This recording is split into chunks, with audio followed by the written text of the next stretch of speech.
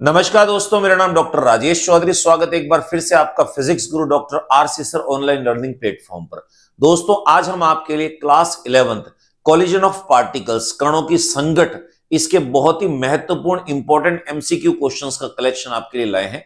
अगर आप किसी भी कंपटीशन एग्ज़ाम की तैयारी कर रहे हैं, जिसमें UPSC RPSC IIT JEE mains advance NEET eleven twelfth और किसी भी स्टेट या फिर सेंट्रल गवर्नमेंट की एग्ज़ाम की तैयारी कर रहे हैं तो आज का लेक्चर वीडियो आपके लिए बहुत ही इंपॉर्टेंट है। और हाँ दोस्तों, अगर आपने हमारा यूट्यूब चैनल सब्सक्राइब नहीं किया है तो इसे आज ही सब्सक्राइब करें और नोटिफिकेशन बेल दोस्तों ज़रूर प्रेस करें, ताकि नेक्स्ट वीडियो जो हम अपलोड करेंगे, वो आप लोगों को जो है, वो माध्यम से मिल सके। तो दोस्तों स्टार्ट करते हैं आज का lecture video question number first दोस्तों, आपके सामने देखिए, क्या दे रखा है?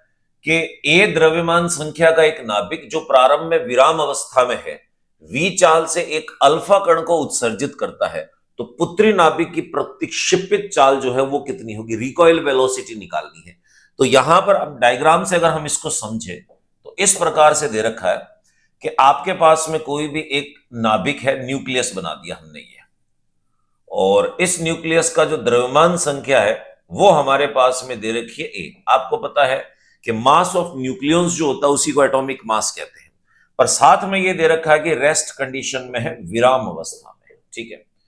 अब इसमें से क्या है कि एक अल्फ़ा कण निकलता है, और आप लोगों को पता है, प्यारे बच्चों, कि अल्फ़ा कण जो होता है, उसका मास चार गुना होता है प्रोटोन का डबली आयोनाइज्ड हीलियम एटम होता है। तो इसका जो द्रव्यमान है M2 ये मान लिया मैंने इसमें लगभग फोर कह देता हूँ इसमें क्लियर और आपको पता है कि यहाँ पर ये रेस्ट कंडीशन में है तो इसका इनिशियल वेलोसिटी ज़ीरो साथ में, जब इस न्यूक्लियस से ये अल्फ़ा कण निकल जाएगा तो पीछे हमारे पास में जो न्यूक्लियस बचेगा, उसका मास कितना है? तो आपको पता है ए मास नंबर में से फोर अगर रिमूव कर दिया जाए तो इसका जो एटॉमिक मास है, वो चार कम हो जाएगा। तो यानी पुत्री नाभिक जिसको डॉटर न्यूक्लियस कहेंगे प्रोडक्ट जो होता है हमारे पास, उत्पाद जो बनेगा, इसका मास हो गया ए माइनस फोर और आपसे पूछा इसकी स्पीड कितनी है तो हमने इसकी स्पीड जो है वो वी मान ली। कंजर्वेशन ऑफ़ मोमेंटम हम ये कह सकते हैं कि बिफोर द कोलिजन या बिफोर एक्सट्रैक्शन जब ये इसमें से निकला तो उस समय इसको ऐसे कह सकते हैं। देखिए m one u one plus m two u two is equals to ये बन जाएगा हमारे पास में m three u three m one u one क्या है कि जो हमारे पास में नाभिक था, इसका मास तो ए है परंतु वेलोसिटी ज़ीरो हो गई प्लस करके एम टू फोर मास है हमारे पास में, और वेलोसिटी जो दे रखी है, वो आपको वी दे रखी है इसमें। इक्वल्स टू एम थ्री इसका मास हमारे पास में कितना है? ए माइनस फोर और वेलोसिटी आपको कैलकुलेट करनी वी डैश कह देता हूँ। ये ज़ीरो हो जाएगा। Four v is equals to a minus four into v dash इसको नीचे शिफ्ट करो तो v dash is equals to होगा four v upon a minus four तो जो हमारे पास में डॉटर न्यूक्लियाई है, उसकी जो रिकॉयल वेलोसिटी है, वो हमारे पास इतनी होगी? अब ऑप्शन देख लीजिए कौन सी है? Four v upon a minus four यानी ए ऑप्शन हमारे पास में करेक्ट आंसर है दोस्तों फ़र्स्ट क्वेश्चन का। क्वेश्चन नंबर सेकंड देखिए। क्वेश्चन नंबर सेकंड में क्या कह रखा है? एम द्रव्यमान की एक वस्तु वी प्रारंभिक वेग से गति करती हुई एम द्रव्यमान की किसी स्थिर वस्तु के समक्ष टकराती है। तो डायग्राम बना देते हैं साथ में। आपको क्या दे रखा है? एक बॉडी जिसका मास है स्मॉल एम दे रखा है। ये है। और वी वेलोसिटी से जा रही है। ये किसी दूसरे पिंड से टकराती है। अब कैपिटल एम दे रखा थोड़ा सा बड़ा पिंड बना देते हैं इसमें। इसका मास हमारे पास में जो है, वो हो गया कैपिटल एम पर साथ में आपको दे रखा है कि रेस्ट कंडीशन में। इससे स्ट्राइक करती है। टक्कर के पश्चात एम द्रव्यमान की वस्तु विराम अवस्था में आ जाती है। अब ये रेस्ट में हो जाएगी। तो इसको आपने कह दिया कि एम द्रव्यमान की वस्तु है, ये रेस्ट में हो गई। ये आफ्टर द कोलिजन की बात कर रहे हैं हम इसमें। फिर कह रहा है, तथा केवल एम द्रव्यमान की वस्तु गति करती है। अब ये जो बॉडी हमारे पास में है, ये मूव कर रही है। ये एम द्रव्यमान की वस्तु, ये वेग से गति कर रही है। अब मान लिया इसको हम वी डैश कह लें। तो आपसे पूछा जाए ऐसा कब होगा? देखिए दोस्तों, आप लोगों को यह कंडीशन बता रखी है कि जब कभी भी कोई पिंड इस प्रकार से है कि अगर कोई पिंड अपना वेग आदान प्रदान कर लेता, देखिए, ये मोशन में था, ये रेस्ट में थी, और जैसे ये इसको हिट कर रही है, इसका मतलब क्या हो रहा है? दोनों की वेलोसिटी इंटरचेंज हो गई, वेग परिवर्तित हो गया। कोई बच्चा बोले, सर, वेग परिवर्तित कैसे हुआ? अब आप खुद देखिए, जो फ़र्स्ट बॉडी मूव कर रही थी, वो तो रेस्ट में आ गई, और जो रेस्ट में थी, वो मूव कर रही है। इसका मतलब हम ये कह सकते हैं कि जो दूसरा पिंड गति करेगा, उसकी वेग वही होगा जो पहला पिंड गति कर रहा था वी हो गया। और वेग इंटरचेंज होने के लिए कंडीशन लगती है, ये तभी पॉसिबल होता है जब दोनों के द्रव्यमान समान हो। तो प्यारे बच्चों, ध्यान से सुनिएगा, अगर कभी कोई दो पिंडों का कॉलिजन होता है, टक्कर होता है, उनके वेग इंटरचेंज तभी होंगे जब उन दोनों का मास सेम होगा। तो मैं ये कह सकता हूँ कि स्मॉल एम जो है वो इक्वल्स टू क्या होगा? कैपिटल एम होगा। तो देखिए थर्ड क्वेश्चन हमारे पास में सेकंड क्वेश्चन का करेक्ट आंसर है दोस्तों। Number third question number third में क्या दे रखा है? एक वस्तु ए एक अन्य वस्तु स्थिर बी के साथ में पूर्ण प्रत्याश टक्कर करती है। तो चेक कर लेते हैं इसमें डायग्राम से। एक हमारे पास में बॉडी है। ए कह दिया हमने इसमें। अन्य स्थिर वस्तु, दूसरा जो बॉडी है बी कह दिया पर रेस्ट कंडीशन में ये विराम अवस्था में हो गई। पहला पिंड जो है, ये गतिशील अवस्था में था, ठीक है? वेग हमें नहीं पता कितना है। यदि टक्कर के पश्चात, अब कैसी है? परफेक्टली इलास्टिक कोलिजन है, पूर्ण प्रत्याश टक्कर है। यदि टक्कर के पश्चात वस्तुएँ समान वेग से परस्पर विपरीत दिशा में गति करती हैं, टक्कर के पश्चात ऐसा सिस्टम हो रहा देखिए। ये वाला जो पिंड है, ए, मान लो इस दिशा में गति करता है, ये ए हो गया। और बी जो है आपके पास में मान लो ये इस दिशा में गति कर रहा है, ऐसे। बी हो गया हमारे पास, ठीक है? अब आप लोगों को पता है कि पहला पिंड जो है विराम अवस्था में था, ये मोशन में था, ये दोनों मूव कर रहे विपरीत दिशा में चलती है, अब समान वेग से चल रही है। तो इसका मतलब इसकी वेलोसिटी वी हो गई तो इसकी वेलोसिटी वी है। डायरेक्शन ऑपोजिट है, इसका मतलब एक प्लस में होगा तो एक माइनस में होगा। अब इसकी बात करें, इसका वेग हमें नहीं पता। मान लिया इसकी वेलोसिटी हमारे पास में यू हो गई। ठीक है? तो आपसे पूछ रहा है ए और बी के जो द्रव्यमान है मास, उनका रेशियो कितना होगा? बड़ा सिंपल सा फंडा है दोस्तों। मान लिया इसका मास मैंने कह दिया एम ए इसका मास हो गया एम बी सेम इसका मास हो गया एम ए और इसका मास हो गया हमारे पास में एम बी अब आप एक चीज़ कह सकते हो कि अगर मैं कंजर्वेशन को यूज़ करता हूँ तो मेरे पास में क्या आएगा देखिए? संवेग संरक्षण से m a into u plus m b into zero क्योंकि रेस्ट में था ये इक्वल्स टू यहाँ पर आपके पास में क्या बनेगा? एम ए और वेलोसिटी ऑपोजिट डायरेक्शन में जा रहा है तो माइनस वी कह दिया। और प्लस करके, ये हो गया हमारे पास में एम बी इंटू प्लस का बी सॉल्व कर लेते, ये ज़ीरो हो गया। तो m a u is equals to ये बन गया आपके पास में एम ए वी माइनस में। और ये बन गया आपके पास में प्लस एम बी इंटू अब देखिए, यहाँ से आप दो काम कर सकते हो। या तो आप इस v की वैल्यू निकाल लो। तो v की वैल्यू अगर मैं निकालना चाहूँ कि फाइनल वेलोसिटी कितनी है, या चाहो तो इनिशियल निकाल सकते हो तो इसको मैं एक सिंपल सा फंडा देता हूँ इसमें। M a u is equals to m b v minus m a v इसको मैंने फ़र्स्ट इक्वेशन कह के छोड़ दिया। अब देखिए साथ में मैं आपसे कहूँ कि कंजर्वेशन ऑफ़ मोमेंटम के साथ में कंजर्वेशन ऑफ़ एनर्जी यूज़ करूँ, क्योंकि मुझे ये टक्कर कैसी दे रही पूर्णतः प्रत्याश टक्कर, यानी एनर्जी कंजर्व होगी। तो मैं ये कह सकता हूँ कि टकराने के पश्चात और टकराने के पहले इनकी जो गतिज ऊर्जा है वो संरक्षित थी। तो इसका मतलब मैं ये कह सकता हूँ, पहले पिंड की गतिज ऊर्जा half m a u square plus दूसरे पिंड की गतिज ऊर्जा ज़ीरो रेस्ट कंडीशन में इक्वल्स टू हो जाएगा half m a v square square है तो नेगेटिव पॉजिटिव में कन्वर्ट हो जाएगा।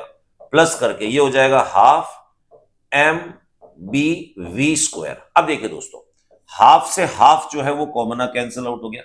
इधर बना हमारे पास में m a u square is equals to v square common out खींच लो। यहाँ बन जाएगा आपके पास में m a plus m b अब ध्यान से देखिएगा। इन दोनों इक्वेशंस को यूज़ करके आपको सोल्व आउट करना है कि हमारा आंसर क्या होगा। बड़ा सिंपल सा है। चाहो तो आप v की वैल्यू पुट कर दो। चाहो तो आप यहाँ से u की वैल्यू निकाल दो। अगर मान लो मैं यहाँ से u की वैल्यू पुट करता हूँ इसमें तो क्या बन जाएगा देखिए। u इज़ इक्वल्स टू ये बनेगा मेरे पास में एम बी मैं इसको लिख देता हूँ ऐसे। ये बन जाएगा m b minus m a upon करके बना हमारे पास में एम ए और यहाँ पर आ जाएगा वी इस वैल्यू को हम यहाँ पर शिफ्ट कर देंगे। तो ये बन जाएगा, देखिए एम ए और इसका स्क्वायर करना है तो ये बन जाएगा m b minus m a का whole square whole divided by ये बना हमारे पास में एम ए का स्क्वायर और साथ में नंबर चल रहा है इसमें v square is equals to v square और ये है m a plus m b v square से वी स्क्वायर कैंसिल आउट हो गया। एक एम ए एक एम ए से कैंसिल आउट होगा। अब इसमें आपको क्या करना है? दोनों के मास का रेशियो निकालना है। तो देखिए, खूब सारे फंडे हैं सॉल्व करने के। मैं एक काम करता हूँ, इसको यहाँ शिफ्ट कर देता हूँ। तो क्या बन जाएगा मेरे पास में?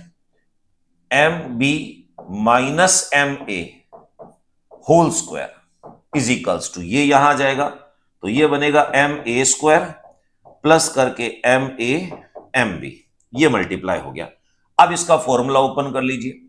M b square plus m a square minus हो गया हमारे पास में two m a m b equals to हमने कहा एम ए का square plus m a m b अब देखिए m a square m a square से कैंसिल आउट हो गया. ये नंबर इस साइड शिफ्ट होगा तो तीन आ जाएगा. देखिए two m a m b minus का है. इधर आएगा प्लस आएगा तो थ्री टाइम्स हो गया. तो क्या बन रहा है? मैं यहाँ लिख देता हूँ. एम बी का स्क्वायर इज़ इक्वल्स टू ये बन जाएगा three times of m a m b m b से एम बी कैंसिल आउट हो जाएगा इनके मास का रेशियो चाहिए, यानी m a upon m b तो थ्री को नीचे शिफ्ट कर दो तो ये यहाँ आ जाएगा हमारे पास में। M a upon m b is equals to one by three यानी इनके मास का जो रेशियो है हमारे पास में, वो कितना है? वन बाय थ्री देखिए one by three B option दे रखा। दोस्तों लेंदी कैलकुलेशन ज़रूर थी, परंतु टिपिकल नहीं थी। आप लोगों को पता है कि हमारे पास में दो ही कंजर्वेशन है, जिसमें एक मोमेंटम तो लगेगा ही लगेगा। काइनेटिक एनर्जी का कंजर्वेशन इसीलिए लग रहा है क्योंकि क्वेश्चन में दे रखा है कि पूर्णतः प्रत्याश टक्कर है। तो थर्ड क्वेश्चन का करेक्ट आंसर हमारे पास बी ऑप्शन हुआ दोस्तों। नेक्स्ट क्वेश्चन नंबर फोर में क्या दे रखा है? एम द्रव्यमान की बड़ी गेंद यू चाल से चलकर एम द्रव्यमान के किसी स्थिर छोटी गेंद से टकराती है। डायग्राम मेंशन कर देते हैं हम इसमें। एक बड़ी गेंद हमारे पास में है, जिसका द्रव्यमान, मास जो है, वो हमारे पास में है कैपिटल एम और बड़ी गेंद यू चाल से चल रही है, स्पीड दे रखी है, और एक छोटी गेंद से टकराती है, जिसका द्रव्यमान स्मॉल एम है, साथ में ये रेस्ट में है, विराम अवस्था में। अब टकराने के पश्चात कह रहा है, अतः छोटी गेंद की चाल यू तथा बड़ी गेंद की चाल वी हो जाए। तो वी का मान कितना होगा? अब हम बात कर रहे हैं कि छोटी गेंद जो आगे थी स्मॉल एम इसकी चाल कह रहा है कि यू हो जाए। इंटरचेंज हो रही है इसमें। यू हो गई। और बड़ी गेंद जो हमारे पास में थी एम ये, इसकी चाल कह रहा है वी हो जाए हमारे पास में। तो आपसे पूछा है कि v का मान कितना होगा? कंजर्वेशन ऑफ़ मोमेंटम सिंपल सा क्योंकि हमें नहीं पता है कि यहाँ पर टक्कर प्रत्यास्थ है कि अप्रत्यास्थ है। इसीलिए काइनेटिक एनर्जी को कंजर्व लेने की जो तरीका है, वो हम यूज़ नहीं करेंगे। हम सिर्फ़ मोमेंटम को कंजर्वेशन में यूज़ करेंगे। तो क्या होगा? टक्कर से पूर्व का संवेग और टक्कर के पश्चात का संवेग, ये दोनों सेम होंगे आपस में।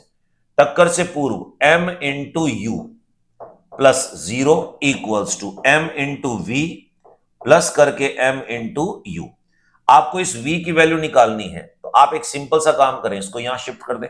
तो क्या बन जाएगा हमारे पास में m u minus m into u is equals to m into v common out ले लीजिए तो m minus m u is equals to m into v m को नीचे शिफ्ट करो तो v इज़ इक्वल्स टू हमारे पास में आएगा m minus m upon capital M into हो गया आपके पास u अब ये ऑप्शन कौन सा है?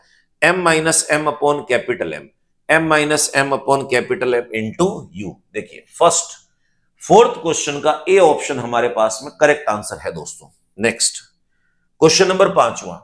टक्कर अगर पूर्णतः अप्रत्यास्त होगी तो कॉफिशियंट ऑफ़ रेस्टिट्यूशन कितना होगा? मैं आपको एक चीज़ बता दूँ। टक्कर जो होती है हमारे पास में, तीन प्रकार की है। अगर टक्कर पूर्णतः प्रत्यास्त हो, पूर्णतः प्रत्यास्त टक्कर हो परफेक्टली इलास्टिक कोलिजन हो हमारे पास में तो इस कंडीशन में ई e की वैल्यू होती है वन अगर टक्कर पूर्णतः अप्रत्यास्थ हो, अप्रत्यास्थ, अगर परफेक्टली इन इलास्टिक कोलिजन है तो प्यारे बच्चों ई e की वैल्यू होगी ज़ीरो और दैनिक जीवन में डेली लाइफ में जितने भी कोलिजन होते हैं, वो केवल और केवल अप्रत्याश टक्कर होते हैं। अप्रत्याश टक्कर है हमारे पास में। और अप्रत्याश चक्कर में ई e की वैल्यू ज़ीरो से बड़ी और एक से छोटी। अब आपसे कह रहा है कि पूर्णतः अप्रत्यास्त है। पूर्णतः अप्रत्याश टक्कर है तो ई e की वैल्यू कितनी होगी? ज़ीरो होगी। यानी फ़र्स्ट ऑप्शन ए ऑप्शन हमारे पास में करेक्ट आंसर है फिफ्थ क्वेश्चन का। नेक्स्ट क्वेश्चन नंबर सिक्स विराम अवस्था में एक भारी नाभिक दो टुकड़ों में टूट जाता है, जिस, जो आठ अनुपात एक के वेग में गति करता है। तो डायग्राम बनाए थे इसमें। देखिए, आपसे कह रहा है, कोई भी एक न्यूक्लियस है हमारे पास में। मान लो इस प्रकार से हमने मेंशन कर दिया। ये कोई भी न्यूक्लियस हो गया। ठीक? आपसे कह रहा है कि भारी नाभिक है रेस्ट कंडीशन में था, विराम अवस्था में। ठीक है? ये दो भागों में विभाजित हो जाता है, जिनके वेग का रेशियो दे रखा आठ अनुपात एक। खंडों की त्रिज्याओं का अनुपात बता दीजिए। मान लीजिए, पहला नाभिक हमारे पास में यहाँ हो गया। और दूसरा आपके पास में ये बन गया। तो पहले को ए कह दिया, दूसरे को हमने बी कह दिया। अब एक चीज़ देखिए एक ही नाभिक के दो टुकड़े हुए इसका मतलब डेंसिटी सेम होगी। तो हम ये कह सकते हैं कि घनत्व जो है दोनों का डेंसिटी वो आपके पास में क्या होगी? समान होगी। मान लो पहले का वेग हमारे पास v1 है और दूसरे का वेग हो गया v2 आपको इनकी त्रिज्याओं का रेशियो बताना है। तो रेडियस r1 हो गया और radius r2 conservation of momentum में यूज़ करूँ तो आप ये कह सकते हो कि इन दोनों का मोमेंटम जो है सेम होगा सेम तरीके से, टक्कर से पूर्व, टक्कर के पश्चात। तो मैं ऐसे लिख सकता हूँ, इसमें देखिए m one v one is equals to m two v two ये कह सकते हैं। अब मास जो होता है हमारे पास में, उसका फॉर्मूला होता है घनत्व इनटू आयतन। ये यूज़ करेंगे इसमें। डेंसिटी मान लो मैंने डी मान ली, क्योंकि दोनों की सेम है। और गोलाकार होने के कारण आयतन होगा four upon three pi, r one cube. Same तरीके से अगर मैं एम टू की बात करता हूँ तो यहाँ पर भी ये होगा घनत्व इंटू आयतन, यानी density into volume density same रहेगी और four upon three pi r two cube होगा हमारे पास में। अब वैल्यू डाल देते हैं, देखिए। और साफ़ आपको पता है कि डी से d cancel out four upon three pi से four upon three pi cancel out बचेगा क्या? R one cube v one is equals to r two cube v two ये हो गया हमारे पास। अब देखो, दोनों के रेडियस का रेशियो पूछा तो इसको यहाँ नीचे शिफ्ट करो। R one upon r two का whole cube is equals to v two upon v one cube हटा दीजिए यहाँ से। तो ये बन जाएगा r one upon r two is equals to cube root हो गया घनमूल। किसका? V two upon v one अब देखिए। यहाँ पर v one upon v two दे रखा है और यहाँ पर v two upon v one है। तो इसको मैं ऐसे लिख सकता हूँ। ये एट अपॉन वन है तो ये वन अपॉन एट हो जाएगा हमारे पास और वन बाय थ्री आठ का घनमूल होता है दो तो ये बन जाएगा वन बाय टू इनके रेडियस का रेशियो है एक बटा दो। तो देखिए ए ऑप्शन हमारे पास में सिक्स का करेक्ट आंसर है। बच्चों, गलती ना कर दें, क्योंकि जस्ट इसका उल्टा आंसर दे रखा है यहाँ पर टू रेशियो वन तो सिक्स क्वेश्चन का करेक्ट आंसर ए ऑप्शन दोस्तों।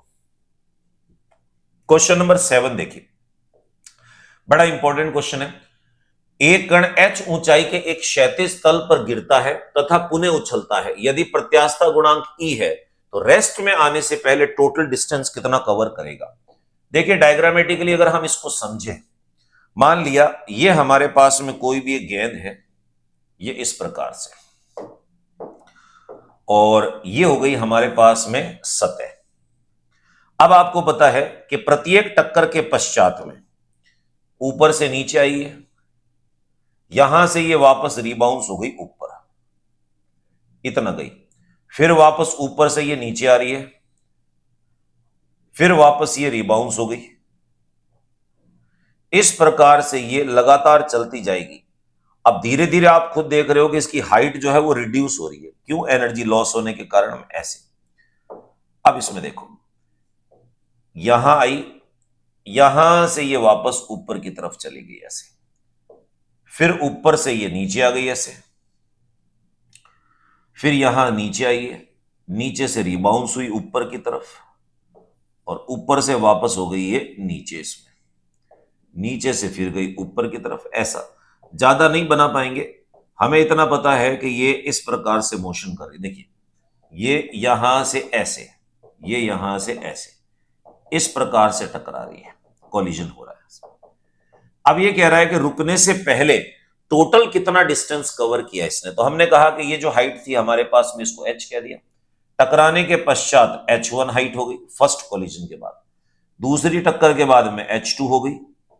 तीसरी टक्कर के बाद में एच थ्री हो गई और इस प्रकार से ये एच एन तक चलेगा। तो आप ये कह सकते हो कि टोटल डिस्टेंस हमारे पास जो है वो कितना है? H plus h one twice of h two plus twice of h three plus dash dash dash dash ये हमारे पास में हो जाएगा ट्वाइस ऑफ़ एच एन हो गया। अब देखिए, प्रत्येक टक्कर के पश्चात जो हाइट कवर करती है वो कितनी है?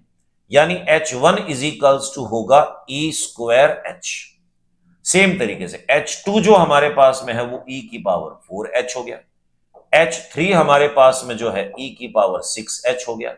और एच की पावर एन की बात करें तो ई e की power two n into h हो गया।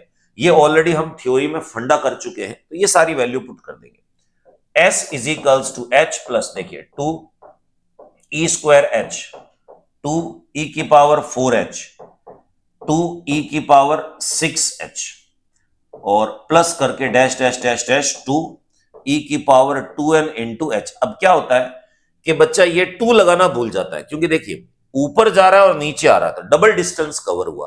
तो ओवरऑल में तो हम एच कॉमन निकाल लेंगे। इसमें वन आ जाएगा और इस वाले नंबर के अंदर में देखिए, आप टू ई स्क्वायर कॉमन खींच लो। तो अंदर कितना बन जाएगा? One plus e square plus e की पावर फोर प्लस ई की power six plus dash dash dash dash ऐसे चलेगा हमारे पास में। अब जरा ध्यान से देखिएगा। ये सीरीज़ जो है आपके पास में ज्योमेट्रिक प्रोग्रेशन की दिख रही है और इनफाइनाइट सीरीज़ है। Sum of infinite number in geometric progression गुणोत्तर श्रेणी में, अनंत पदों का जो योग होता है, वो होता है a upon one minus r ये कब होगा? जब आर की वैल्यू एक से छोटी होगी। आर क्या है इसमें? आर को हम कहते हैं सार्व अनुपात। सार्व अनुपात। कॉमन रेशियो कहेंगे। ये कैसे निकलता है?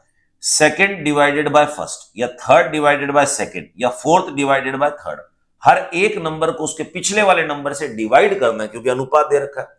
तो मैं इसको इससे डिवाइड करता हूँ तो ये मेरे पास आएगा ई स्क्वायर इसको इससे डिवाइड करो तो बी स्क्वायर इसको इससे डिवाइड करो ई स्क्वायर अब देखिए ई जो है, इसकी वैल्यू लेस देन वन होती है, क्योंकि ये क्या है हमारे पास में? कॉफिशेंट ऑफ़ रेस्टिट्यूशन एक हो नहीं सकता, एक से ज़्यादा हो नहीं सकता।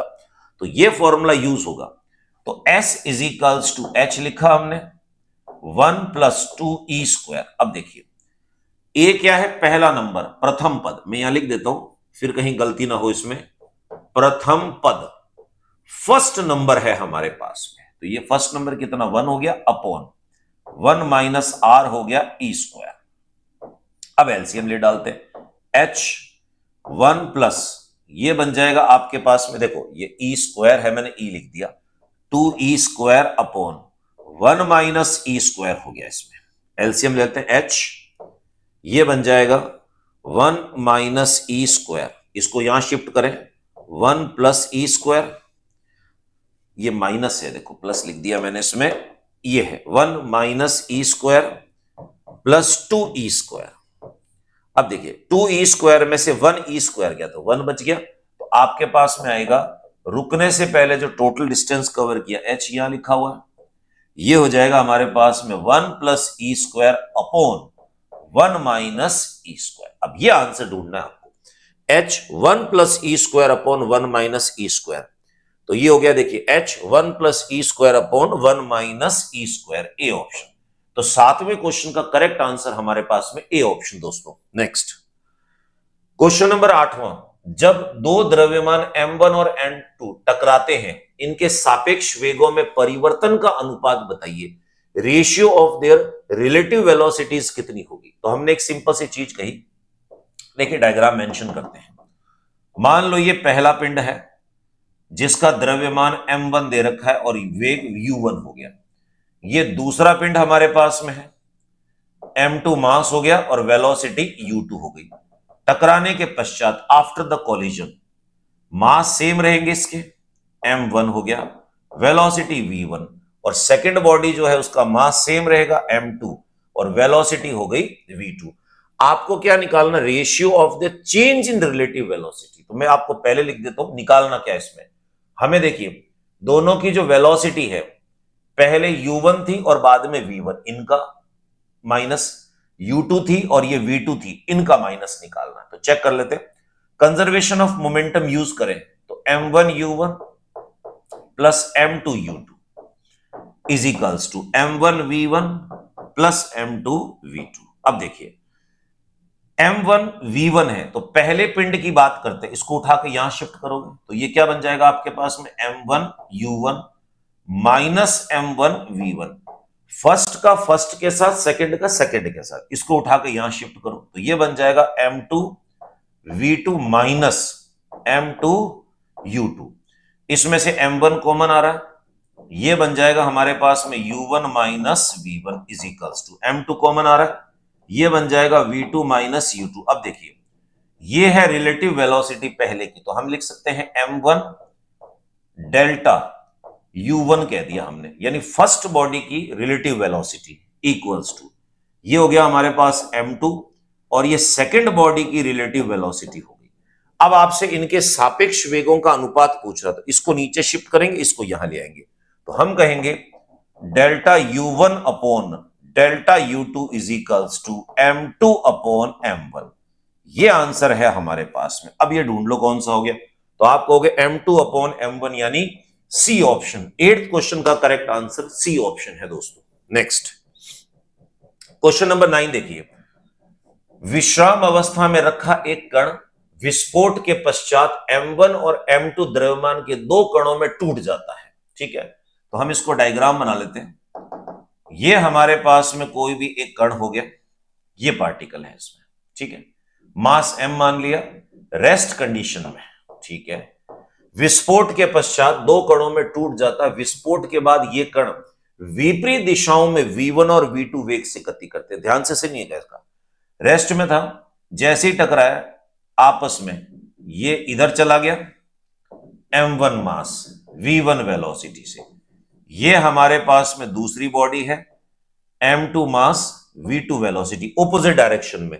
इनकी गतिज ऊर्जाओं का अनुपात बताना आपको E1 अपॉन E2 यानी फ़र्स्ट बॉडी की काइनेटिक एनर्जी और सेकंड बॉडी की काइनेटिक एनर्जी का रेशियो गतिज ऊर्जा आपको पता है सिंपल सी कितनी होती है? हाफ़ एम बी स्क्वायर अब बच्चा बोलेगा, सर वी वन मुझे पता नहीं है वी टू पता नहीं है। ऑप्शन सिर्फ़ मास में दे रखे हैं। तो कॉन्सेप्ट हम यहाँ पर बिल्ड करेंगे, देखिए। आपको इतना पता है कि किसी भी टक्कर में, किसी भी कॉलिजन में काइनेटिक एनर्जी कंजर्व भले ही मत हो, पर मोमेंटम हमेशा कंजर्व होता है। तो काइनेटिक एनर्जी की मैं बात करता हूँ। इज़ इक्वल्स टू फॉर्मूला क्या होता है हमारे पास में? Half m v square m से मल्टीप्लाई किया एम से डिवाइड कर दिया। Kinetic energy is equals to नीचे हो गया टू एम और ये हो गया एम स्क्वायर वी स्क्वायर तो इसको मैं लिख सकता हूँ p square upon two m आपको पता है कि दोनों का मोमेंटम कंजर्व होगा ये। तो मैं ऐसे कहूँगा इसमें देखिए कि काइनेटिक एनर्जी जो है वो इनवर्सली प्रोपोर्शनल हो गई एम के। मास के तो बड़ा सिंपल सा फंडा आ गया हमारे पास। तो हमें पता है कि E one upon E two इसकी वैल्यू क्या होगी? गतिज ऊर्जा द्रव्यमान के व्युत्क्रमानुपाती होती है। इनवर्सली प्रोपोर्शनल टू मास क्यों? पी कांस्टेंट है इसमें। तो देखिए ई वन ऊपर लिखा हुआ है तो एम वन नीचे हो जाएगा। ई टू नीचे लिखा हुआ है तो एम टू ऊपर आ जाएगा। एम टू ऊपर। तो दोनों की गतिज ऊर्जाओं का अनुपात m two upon m one होगा। तो देखिए नाइन्थ क्वेश्चन का करेक्ट आंसर हमारे पास ए ऑप्शन दोस्तों। बस कुछ नहीं, एक सिंपल सा कॉन्सेप्ट यूज़ करना उस कॉन्सेप्ट के बेसिस पे आपको जवाब देना है। नेक्स्ट क्वेश्चन क्वेश्चन नंबर दसवा क्या कह रहा है? एक न्यूट्रॉन किसी स्थिर ड्यूट्रॉन से प्रत्यक्ष प्रत्याश संगठ करता है, आपस में टकराता है। संगठ में न्यूट्रॉन की आंशिक ऊर्जा क्षय कितनी होगी? एनर्जी लॉस कितनी हो रही है? चेक कर लेते हैं, इसमें देखिए। आपको क्या दे रखा है कि एक न्यूट्रॉन है हमारे पास में। ये रहा इसमें न्यूट्रॉन। मैं लिख देता हूँ, एक न्यूट्रॉन। हैवीएस्ट फंडामेंटल पार्टिकल है। एक न्यूट्रॉन किसी स्थिर, मान लो किसी वेग से चल रहा है यू वन से। एक विराम अवस्था के रेस्ट कंडीशन में ड्यूट्रॉन से टकराता है। ड्यूट्रॉन से। मास जो है डबल होगा प्रोटोन का। तो हम कहेंगे रेस्ट कंडीशन में है। तो u two is equals to कितना हो गया? ज़ीरो हो गया हमारे पास में। अब ये कह रहा है कि टकराने के पश्चात में दोनों गति करना स्टार्ट करेंगे न्यूट्रॉन भी चल रहा है। मान लो न्यूट्रॉन जो है, यहाँ लिख देता हूँ मैं न्यूट्रॉन इसकी स्पीड जो है, वो हो गई v1 और दूसरा पार्टिकल हमारे पास में जो ड्यूट्रॉन है, इसकी स्पीड v2 कह देते हैं ड्यूट्रॉन स्पीड हो गई v2 अब ये मांग क्या आपसे? ये कह रहा है कि न्यूट्रॉन में आंशिक ऊर्जा क्षय कितना होगा? यानी न्यूट्रॉन में एनर्जी लॉस जो है वो कितना होगा? देखिए, ऊर्जा क्षय जो है वो अनुपातित होता है। कैसे निकालते हैं? बड़ा सिंपल सा देखिए। ऊर्जा क्षय अगर निकालना है, ऊर्जा क्षय, एनर्जी लॉस किसका निकालना है आपको? ये न्यूट्रॉन का निकालना है। तो हम कहेंगे change in energy divided by initial energy कितनी थी? अब चेंज इन एनर्जी कैसे निकालोगे? कि भाई पहले एनर्जी कितनी थी? माइनस बाद में कितनी एनर्जी हो गई? तो चेंज निकालेंगे। तो ये न्यूट्रॉन यहाँ लिखा हुआ है और ये न्यूट्रॉन यहाँ लिखा हुआ है। इन दोनों की एनर्जी का वेरिएशन चाहिए मुझे। तो मैं एक सिंपल सा फंडा आपके सामने यूज़ करता हूँ। इसको मैं कह सकता हूँ कि E one minus E two upon करके हमने लिखा ई वन अब देखिए दोस्तों ई वन मतलब न्यूट्रॉन की इनिशियल एनर्जी तो half m v square use करेंगे तो ये हो जाएगा हाफ़ मास ऑफ़ न्यूट्रॉन और ये हो जाएगा यू वन स्क्वायर ठीक? Minus half mass of neutron और बाद में इसकी वेलोसिटी हो गई v one square v one की वैल्यू आपको निकालनी पड़ेगी। डिवाइडेड बाय करके ये बन जाएगा हाफ़ मास ऑफ़ न्यूट्रॉन और ये हो जाएगा यू वन स्क्वायर क्लियर? सिर्फ़ और सिर्फ़ पहले इसकी वैल्यू निकाल के यहाँ रिप्लेस करनी है। तो देखिए mass of neutron mass of neutron mass of neutron cancel out हो रहा है। Half half half cancel out हो रहा है। बचेगा क्या आपके पास? यहाँ पर बचेगा u one square minus v one square upon करके। ये बना यू वन स्क्वायर अब इसको यहाँ रोक देते हैं। आपको ये निकालना है कि टकराने के पश्चात न्यूट्रॉन की जो वेलोसिटी है वो कितनी है। तो दोस्तों, आप लोगों को फॉर्मूले बता रखे कि टक्कर के पश्चात V1 V2 कैसे कैलकुलेट करते हैं। तो मैं ये कह सकता हूँ V1 one is equals to formula होता है M1 one minus m two upon m one plus m two यहाँ बन जाएगा U1 one plus two m two u two upon बन गया हमारे पास में M1 one plus M to अब आप खुद देखिए U2 की वैल्यू ज़ीरो है तो इसका मतलब ये जो कंपोनेंट है आपके पास में, ये तो ज़ीरो हो गया इसमें, ठीक है? M1 में न्यूट्रॉन को मान लेता हूँ M2 में ड्यूट्रॉन को मान लेता हूँ, दोनों के मास लेने हैं इसमें, ठीक है? तो V1 is equals to mass of neutron और ड्यूट्रॉन की बात करें, बड़ा सिंपल सा फंडा है। तो मैंने लिख दिया mass of neutron minus mass of deuteron upon करके। Mass of neutron plus mass of deuteron u one अब देखो, दोनों में रिलेशन क्या है? हम लमसम ये मानते हैं कि प्रोटॉन और न्यूट्रॉन इन दोनों के द्रव्यमान सेम होते हैं। और जो ड्यूट्रॉन होता है हमारे पास में, इसका मास डबल है। मास ऑफ़ प्रोटोन का। तो मैं ये भी लिख सकता हूँ, डबल होगा मास ऑफ़ न्यूट्रॉन का। तो जहाँ जहाँ ड्यूट्रॉन है, वहाँ डबल लिख दूँगा मैं न्यूट्रॉन का। तो इक्वल्स टू मेरे पास क्या बनेगा? Mass of neutron minus. Twice of mass of neutron upon. Mass of neutron plus twice of mass of neutron. और ये बन गया आपके पास में u one m n m n cut गया। तो v one is equals to ऊपर है माइनस वन अपॉन, ये बन गया आपके पास थ्री यू वन। माइनस ये बता रहा है कि ओपोजिट डायरेक्शन में जाएगा, परंतु यहाँ पर स्क्वायर लिखा हुआ है तो मैं इनकी जो वैल्यू है वो रिप्लेस कर देता हूँ। तो इक्वल्स टू मैं यहाँ लिख रहा हूँ, क्योंकि यहाँ जगह नहीं है इसमें, देखिए। यू वन की वैल्यू एज इट इज़ लिखेंगे u one square minus v one square इसका स्क्वायर करना है तो ये बन जाएगा one upon nine u one square upon ये बन जाएगा यू वन का square u one square common cut गया। One minus one upon nine आपके पास बचेगा ये nine minus one eight upon nine ये हमारे पास एनर्जी है। तो ऊर्जा में क्षय जो है न्यूट्रॉन में, वो हमारे पास होगा एट अपॉन नाइन तो बी ऑप्शन जो है प्यारे बच्चों टेंथ क्वेश्चन का हमारा करेक्ट आंसर है। नेक्स्ट क्वेश्चन नंबर ग्यारहवा देखिए क्या दे रखा है। दो कण जिनके द्रव्यमान एम ए और एम बी है, तथा वे क्रमशः वी ए और वी बी है। सीधी टक्कर करते हैं, टक्कर के पश्चात उनके वेग परस्पर बदल जाते हैं इंटरचेंज हो जाते हैं। दोस्तों कॉन्सेप्ट यूज़ होगा इसमें। मैंने आपको ऑलरेडी पहले ही कहा कि दो विचारधाराएँ इनको वाइस वर्षा बोल सकते हो। आप ये कह सकते हो कि यदि वेग परस्पर परिवर्तित हो जाते हैं, परिवर्तित होते हैं होते हैं तो m1 one is equals to m होगा। इनके मास जो है वो सेम होंगे। आप उल्टा भी बोल सकते हो। अगर मास सेम है और फिर टकरा रहे हैं तो इनके वेग इंटरचेंज हो जाएँगे। अब यहाँ पर क्या कह रहा है? टक्कर के पश्चात उनके वेग आपस में इंटरचेंज हो जाते हैं। तो दोनों के मास सेम होंगे। तो मुझे यह पता है कि mass of A body equals to mass of B body तो इसको नीचे शिफ्ट कर दीजिए। Mass of A upon mass of B. Is equals to answer मेरे पास में कितना आया? वन आया। तो देखिए, डी ऑप्शन हमारे पास में करेक्ट आंसर है दोस्तों, ग्यारहवें क्वेश्चन का। कुछ क्वेश्चन दोस्तों ऐसे होते हैं जो डायरेक्ट कंसेप्ट पे बेस्ड होते हैं और कुछ में थोड़ी सी कैलकुलेशन चाहिए होती है। नेक्स्ट। क्वेश्चन नंबर बारहवा देखिए क्या दे रखा है? कि स्थिर अवस्था में रखी हुई 4m द्रव्यमान की वस्तु। तो हमने एक काम कहा यह हमारे पास में कोई बॉडी है तीन टुकड़ों में विस्फोटित हो जाती है। मास दे रखा हमारे पास में फोर एम रेस्ट कंडीशन में है। अचानक इसमें विस्फोट हो जाता है और तीन टुकड़े बन जाते हैं। दो समान द्रव्यमान m के टुकड़े एक दूसरे के लंबवत हैं। मान लिया, यहाँ बना देता हूँ। एक टुकड़ा ऐसे चला गया और दूसरा टुकड़ा ऐसे चला गया। अब इनके द्रव्यमान m हो गया और m हो गया। ठीक है?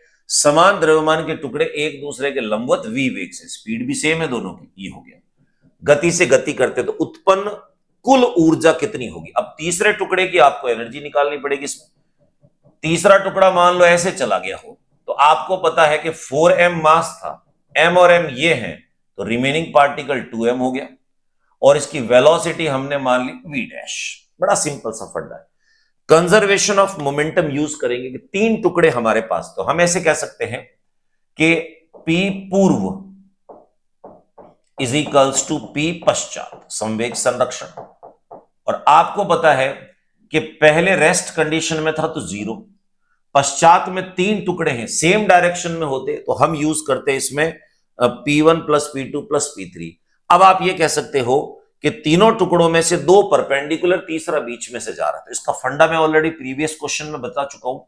P one vector plus p two vector vector form में लेंगे प्लस पी थ्री वैक्टर अब इसको सॉल्व कैसे करना है?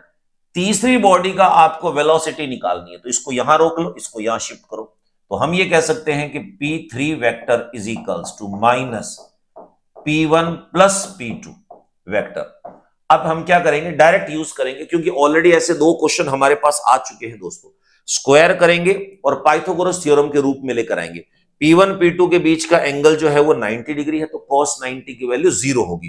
तो ये बन जाएगा आपके पास में P3 का square is equals to P1 का स्क्वायर प्लस P2 का स्क्वायर अब वैल्यू डाल देते हैं। P3 हमारे पास में कितना है?